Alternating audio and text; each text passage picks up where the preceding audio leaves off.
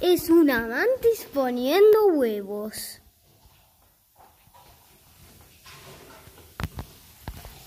No sé si es un huevo o un nido.